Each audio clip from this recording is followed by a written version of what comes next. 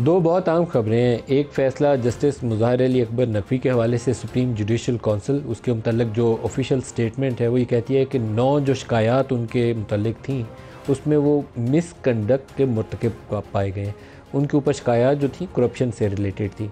और ये फ़ैसला बहुत ही अहम फ़ैसला है, क्योंकि आम तौर पर, आम तौर पर किसी सुप्रीम कोर्ट के जज के ख़िलाफ़ जब कोई शिकायत आ जाए और वो इस्तीफ़ा देकर घर जाना पसंद करे तो उस केस को वहीं क्लोज़ कर दिया जाता है। ये पहला मौका है कि सुप्रीम जुडिशल काउंसिल ने एक लाइन ड्रॉ की है कि जिसके ऊपर कार्रवाई का आगाज़ हो जाएगा, करप्शन की शिकायत हो या कोई और शिकायत हो, वो फिर जब तक मंतकी अंजाम तक नहीं पहुँच जाएँगी, उस चैप्टर को क्लोज़ नहीं किया जाएगा। तो बहुत आम फैसला है। जस्टिस मुजाहिर अली अकबर नकवी के ऊपर जो शिकायत थी, वो ज़्यादातर करप्शन से रिलेट करती थी, लेकिन एक फ़ैसला जो बहुत मुतनाज़ा फ़ैसला था लाहौर हाई कोर्ट से जस्टिस अमीर भट्टी और जस्टिस मुजाहिर अली अकबर नकवी का ही लिखा हुआ फ़ैसला। स्पेशल कोर्ट की कॉन्स्टिट्यूशन, जिसमें जनरल परवेज़ मुशरफ को सज़ा दी गई थी। पिशावर हाई कोर्ट के चीफ जस्टिस वकार सेठ का लिखा हुआ फ़ैसला। उसकी अदालत की कॉन्स्टिट्यूशन इन्होंने गलत करार दे दी थी। उस फैसले को भी सुप्रीम कोर्ट ने रिवर्स किया। तो ऐसे ऐसे फ़ैसले बाकमाल जब किसी जज ने किए हों तो उसका जायज़ा लेना चाहिए। लेकिन क्या सिर्फ़ जस्टिस मुजाहिर अली अकबर नकवी तक ये मामला रुकना चाहिए? या सुप्रीम जुडिशल कौंसिल को बहुत सारे और फैसलों की तरफ़ देखना चाहिए? जैसे जुल्फ़ार अली भुट्टो के हवाले से जो कल फ़ैसला सुप्रीम कोर्ट ने दिया, ओपिनियन दी है अपनी कि उनको फेयर ट्रायल नहीं मिला, ड्यू प्रोसेस को फॉलो नहीं किया गया। तो क्या उन जजों के किरदार को मौलवी मुश्ताक से लेकर सुप्रीम कोर्ट के जजेस तक सबको देखकर उनके ऊपर अब फैसला नहीं देना चाहिए सुप्रीम कोर्ट को, बताना नहीं चाहिए कि उन्होंने मिसकंडक्ट किया था या नहीं किया था, किस दबाव के तहत फैसला किया था। नवाज़ शरीफ की जो इकामा वाली सज़ा थी, क्या उसके ऊपर फैसला नहीं देना चाहिए था? या अभी मौजूदा अदलिया जिसके सामने बहुत high profile political cases Imran Khan के अपने केसेस मौजूद हैं, पाकिस्तान तहरीक इंसाफ के बल्ले का निशान का केस मौजूद है, और इसी तरह स्पेशल सीट्स वाला मामला सुनर लेटर सुप्रीम कोर्ट के पास जाना वाला है। उसके ऊपर सुप्रीम कोर्ट को उस पुरानी रवैश से हटकर आगे बढ़कर कुछ फैसला करने की ज़रूरत है या नहीं है? पिशावर हाई कोर्ट ने तेरह मार्च तक जो रिज़र्व सीट्स वाला मामला था, उसके ऊपर हुक्म इम्तना जारी कर दिया है, वो लोग ओथ नहीं उठा सकेंगे। ये मामला जाना है सुप्रीम कोर्ट में तो क्या सुप्रीम कोर्ट को वैसा फ़ैसला करना चाहिए जैसा इन्होंने बल्ले के निशान के ऊपर किया था, या उससे हट के कुछ करना चाहिए? क्योंकि टेक्निकल फ्लॉज के ऊपर एक सियासी जमात को इंतबी अमल से बाहर करना, वो एक ऑप्शन थी। या उसको कहते हैं कि ये फ्लॉज हैं, एक हफ़्ते के अंदर इंतबात करवा के और अपना निशान वापस ले लो तो वो दूसरा रास्ता था जो ज़्यादा काबिल कबूल होता। रिज़र्व सीट्स का मामला भी उससे जुड़ा हुआ है। और पिशावर हाई कोर्ट ने तो अभी स्टे दिया है, लेकिन इसके ऊपर एक डिसीज़न चाहिए, फैसला चाहिए। कॉन्स्टिट्यूशन इसके ऊपर खामोश है और इलेक्शन कमीशन ने वो सीटें बाकी जमातों में बांट दी। ये एक नया सियासी तनाज़ा है उसकी पदा हो रही है, जिसको समेटा जा सकता है, जिसका जो हक है उसको वापस लौटा देना चाहिए। तो आज के प्रोग्राम में इन दोनों इशूज़ को डिस्कस करेंगे। हमारे साथ जो मेहमान शख्सियात हैं, क्या खान है, पाकिस्तान पीपल्स पार्टी से हमारे साथ, आबिद शेर अली साहब हैं पी एम एल एन से हमारे साथ और सरदार लतीफ़ खोसा हैं, सुन्नी इतिहाद कौंसल। या पाकिस्तान तहरीक इंसाफ से हमारे साथ हैं। खोसा साहब आपसे ही प्रोग्राम का आगाज़ करूँगा। पहले मुजाहिर अली अकबर नकवी का फ़ैसला जो सुप्रीम जुडिशल जुडिशल कौंसिल ने किया कि he was guilty of misconduct ये पैरा उनके मतलब जो लाइन है उसकी कि नाइन कंप्लेंट्स इसके ऊपर आप क्या राय देते हैं? अच्छा फ़ैसला? देखिए नदीम साहब मलिक साहब, ये अनहोना फ़ैसला है, बल्कि इंतकामी फ़ैसला है, और ये मुंतकम मिजाजी का जो है बदकिस्मती से एक ऐसा शाखसाना है, जिसका फिर दूर रस नतज पर जो है इसका मुहित होगा। क्यों नहीं फिर बाकियों का करते? बाकी जब जज ने मुस्ताफ़ी हो जाता है, पहले कोई ऐसी नज़ीर नहीं मिलती है कि आगे प्रोसीड किया हो। इसलिए कि वो मिसकॉन्डक्ट होती ही उस के लिए है कि ये जज रहने के लायक नहीं है। जब वो जज न रहा सुप्रीम कोर्ट का तो फिर आप आगे कैसे उसको चला सकते हैं जब वो जज ही नहीं रहा? ये इसी तरह है, जिस तरह एक एमएनए के खिलाफ हो और वो एमएनए अगर वो मुस्ताफ़ी हो जाता है या असेंबली टूट जाती है तो क्या वो आप करप्ट प्रैक्टिस या वो उसको मिसकॉन्डक्ट करके तो उसको निकालने की हद तक उसको उस म्याद जब ख़त्म हो गई उसकी तो फिर आप आगे आपने इसको इंतकामी फैसला कहा। जो किसी ने उनसे मुजाहिर अली अकबर नकवी से सुप्रीम जुडिशल काउंसिल ने क्यों इंतकाम लेना होगा? मैं आपकी बात से पूरी तरह मुतफिक नहीं हूँ। मेरे ख्याल में अगर मिसकंडक्ट का केस था तो उसके ऊपर फैसला आना चाहिए था। सही आगे भी, आगे भी सुन ले।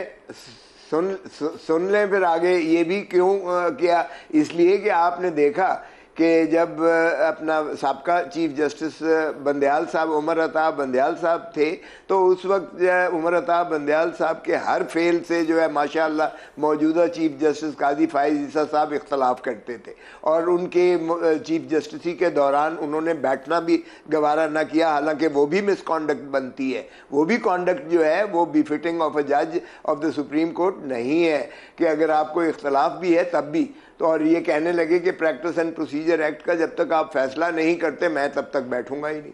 और जब मिलिट्री कोर्ट्स वाला में उन्होंने कॉन्स्टिट्यूट किया और जस्टिस काजी फाइजा को भी उसका मेंबर बनाया, जो मैंने वकालत की थी और एतजाज आसन साहब जो है पटिशनर थे तो उसमें जब कॉन्स्टिट्यूट की बेंच उसमें बंदयाल साहब ने, हमने कहा सारी कोर्ट को बिठाएँ। तो चीफ जस्टिस बंदयाल साहब कहने लगे कि जो मैसर हैं हम उनको बिठा देते हैं क्योंकि वकेशन थी। हमने कहा जी फाब बिल्कुल अच्छी बात है। तो उसमें जो है मोहतरम काजी फाइज साहब को भी उन्होंने बिठाया और सरदार आ, आ, इनको जो अब रिटायर हुए हैं आज उनको भी बिठाया गया सरदार तारिक तारिक मसूद साहब को भी। लेकिन जब जो ही कॉन्स्टिट्यूट हुआ तो काजी साहब खड़े हो गए इन्होंने कहा मैं तो नहीं बैठता मैं मानता सर ये नहीं तो किसी तो असूल से इख्तिलाफ था ना करप्शन का करप्शन का एलिगेशन नहीं असूल नहीं नहीं नहीं नहीं नहीं भाई छोड़ दें छोड़ दें यार छोड़ दें। वो मैं ये कह रहा हूँ कि वो बड़ी वाजे डिवाइड आ गई थी बहुत वाजे डिवाइड बदकिस्मती से आ चुकी थी। और दूसरे जज एजाजुल हासन जिन्होंने चीफ जस्टिस बनना था उनको भी फिर वो भी मुस्ताफी हो गए आज खुद मुस्ताफी हो गए आपके ख्याल में जस्टिस एजाज ने क्यों इस्तीफा दिया? वो मॉनिटरिंग जज भी थे पनामा वाले मामले में आपके ख्याल में उन्होंने क्यों इस्तीफा दिया? इसीलिए कि उनका भी नहीं बनी उनके काजी फाइज ईसा साहब चीफ जस्टिस साहब से। तो सर ये, ना ये बनी तो काजी फाइज ईसा की भी नहीं थी। बनी उन्होंने इस्तीफा क्यों नहीं दिया? काजी फाइज ईसा साहब तो उनको माशाल्लाह रिव्यू में उन दो जजों ने जिन्होंने पहले फैसला इनके खिलाफ दिया था उन्होंने यू टर्न मारकर और इनकी रिव्यू को एक्सेप्ट करवा के उसमें बंदयाल साहब जो है वो औसत जज थे। जिन्होंने काजी फाइजा साहब के खिलाफ फैसला दिया था। तो वो तो एक मुंतकम मिजाजी तो नज़र आ रही थी उसमें जो है डिवाइड हो गई थी। और ये माशाल्लाह मेरा आपसे इतफाक नहीं है इस इशू पे। लेकिन मैं बाकी मेहमानों से भी इस पर राय ले लूँ। अब शेर अली साहब आप क्या कहेंगे? क्या जज के ऊपर अगर इल्ज़ाम हो तो खुली अदालत में उसका फैसला होना चाहिए या इस्तीफ़ा दे के चले जाएँ तो वो चैप्टर क्लोज कर देना चाहिए? बहुत शुक्रिया नदीम साहब। क्यों नहीं ये भी काउंटेबल होते हैं। आखिर अदल इंसाफ का तराजू इन्होंने पकड़ा होता है। लाखों लोगों की ज़िंदगियों के फ़ैसले करने होते हैं। अगर इस तरह के बदयानत जज जैसे मुजाहिर नकवी जैसे बदयानत और बद करदार जजेज जो चौधरी परवेज़ लाई के कहने पर माजी में फ़ैसले करते रहे उनकी ऑडियोज़ आई हैं। मुझे बड़े अफसोस है कि खोसा साहब गवर्नर भी रह चुके हैं, पीपल्स पार्टी के बड़े बड़े अहदों पर भी फाइज रह चुके हैं। और ये आज करप्ट निज़ाम के लोगों की जो जो चोरी की है, उनकी ये पुष्टपनाई करते हैं क्योंकि वो उनके हक में फ़ैसले करते थे। ये कैसा निज़ाम है? आप इस मुल्क में वज़ी अजम को फांसी के फंदों पर लटका दें। आप इस मुल्क के वज़ी अजम को जो खदमत करते हैं, उनको जलावतन कर दें। आप अपनी मर्ज़ी से फ़ैसले करके मुल्क के वज़ी अजम को एक कलम की जुम्बिश से आप कहें जी कि आप चौबीस करोड़ अवाम के लिए नाहल हो चुके हैं। इस तरह के बदकरदार जजेस एहसन एहसन एजाजुल जैसे लोग बैठे होंगे। मज़ाहिर नकवी जैसे लोग बैठे होंगे। ये कैसे कह सकते खोसा साहब इसका मतलब है जज को ये इख्तियार है वो कत्ल कर दे अपनी ज, अपनी जजेज से वो इस्तीफ़ा दे दे उसको कोई पूछने वाला नहीं है। ये ये अल्लाह की अल्लाह अल्लाह ये खोसा साहब मैं आपको अदीस मुबारक भेजता हूँ अगर आप पढ़ने का शौक़ रखते हैं या कभी ज़िंदगी में हदीस पढ़ी है मैं भेज दूँगा। अल्लाह के नबी क्या फरमाते हैं जजेस के बारे में जिन्होंने इंसाफ करना है? अल्लाह की अल्लाह की अदालत में जब उनको पकड़ा जाएगा एक एक चीज़ उससे पूछी जाएगी कि भाई ये पाकिस्तान के 24 करोड़ अवाम के आप चीफ जस्टिस बन के बैठे थे, आप तो करप्शन में मुबतला थे और खोसा साहब कह रहे हैं कि आपने इस्तीफा दे दिया, आपको पूछ नहीं सकते थे। वो मुल्क उसके बाप का था कि वो पैसे लूट के खा जाए, वो लोगों को ना इंसाफी दे और आप उनको कहीं भी चले जाए। वो पाकिस्तान के वज़ीर आज़म को घर भेज दे, जादुल एहसन जैसे लोग। आप कहते हैं जी कि उनकी काजी फायज ईसा साहब से नहीं बनी। को खुदा के लिए, पाकिस्तान के लिए सोचें, अपनी ज़ाती अना और मफादा से बाहर निकलें। ये कैसे मुमकिन हो सकता है कि एक एक जज गलत फैसला दे, पैसे लेकर, रिश्वत लेकर, उसकी ऑडियो और उसकी वीडियो दोनों रिकॉर्ड का हिस्सा हो और ये कहते हैं जी के मिसकंडक्ट हो गया, जज साहब ने इस्तीफा दे दिया और उनको अब वो जज नहीं रहे थे, पूछ नहीं सकते। नाउज बिल्ला नाउज बिल्ला को वो ऊपर से उतरी ऐसी मखलूक है जो नहीं पूछ सकते। क्यों ना पूछें? पाकिस्तान के लोगों के गलत फैसले इन लोगों ने दिए। पाकिस्तान की अदलिया का बेड़ा गर्क इन काली बेड़ियों ने किया और आप उनको कहते कि पूछे नहीं। इनका ट्रायल भी होना चाहिए। अब ये जो फैसला चीफ जस्टिस साहब ने दिया है और मुझे बड़ा अफसोस है कि आप काजी फाइज ईसा साहब को खोसा साहब इस घटिया आदमी के साथ जो मुजाहिर नकवी है उसके साथ आप अटैच कर रहे हैं। काजी फाइज ईसा साहब? आप एक मिनट सुन लें। साकिब निसार का ले लें सईद खोसा का ले लें। साकिब निसार का क्या किरदार रहा? गनौना किरदार रहा। आप बोलते उस वक्त जस्टिस सदीकी के हक में जहाँ पे दो साल की मेहनत ज़ाया होने की नस्बत, उनको उस वक्त के डीजी क्या नाम था उनका, फैज़ अमीर साहब ने सबक दोष करवा दिया। पूछते आप उनसे, किधर से आपकी ज़मीर और आपकी गैरत जब अरशद मलिक ने इतराफ़ी बयान दिया कि मेरे से नवाज़ शरीफ के खिलाफ बयान दिलवाया गया जस्टिस ये जो बैठा हुआ है साकिब निसार की कि आप कैसी बात करते हैं? कैसे इन दरिंदों को जिन्होंने इंसाफ का गला घूटा हो और आप उनको कहते कि जाने दें? बिल्कुल नहीं जाने देना चाहिए। और आप इसको पोलिटिसाइज अच्छा, कर रहे हैं काजी साहब साहब को। साहब से इसका जवाब ले सोच को कंडेम करता हूँ। मैं कंडेम करता हूँ खोसा साहब आपकी सोच पर। नदीम आपकी प्लानिंग के ऊपर क्या आप सोचिए काजी फाइजीसा साहब के खिलाफ कैंपेन कर रहे हैं। मलिक साहब जी जी कोसा साहब। अगर आपने सारा टाइम इन्हीं को देना है और ये गालियाँ गालियाँ सुनवानी है अगर आपने तो फिर मैं तो प्रोग्राम से मेरे ख्याल में मुझे मुखलसी दे दीजिएगा। मैं ऐसे शाउटिंग का आदि नहीं हूँ। शाउटिंग बाउट जो कर रहे हैं शाउटिंग करने की चाहिए भी नहीं है। मुनासिब अल्फाज में तंकीद होनी चाहिए। देखे नहीं मुनासिब अल्फाज में देखिए तो एक चीज़ आप बताइएगा। जो जो बात फैसले ऐसे हैं जिसके ऊपर मैं राय चाहता हूँ। जी। मलिक साहब एक मिनट जी जी बताइए। मैंने बिल्कुल किसी चीज़ का नहीं किया। मैंने कहा सबका रवायात हमेशा यही रही है। अगर सबका रवायात से आप हटके करते हो तो आर्टिकल 25 में कि हर एक के साथ बराबरी का सलूक करना चाहिए तो फिर आर्टिकल 25 को उठा के आइन से बाहर फेंक दें। बाकी रहा ये, इनको पता ही नहीं है कि उन पर इल्ज़ाम क्या था, इन पर कोई ऐसा इल्ज़ाम नहीं था कि इन्होंने पैसे लेके या करप्शन करके कोई गलत फैसला किसी के हक में दिया या किसी को मफाद दिया है। इनको पता ही कुछ नहीं है कि बातें क्या थी और क्या इल्ज़ाम उसमें, उस पर लगाए गए थे। ये मैं इसलिए इंतकामी कह रहा हूँ कि अगर आप अंधे की तरह देख भी ले कि जी एक इसने जो है फला तारीख को ख़रीदा था, एक मकान और वो आठ, अस्सी करोड़ का था, या और अब जो है इसने दस साल, पंद्रह साल के बाद बेचा है तो वो दो अरबों का हो गया है।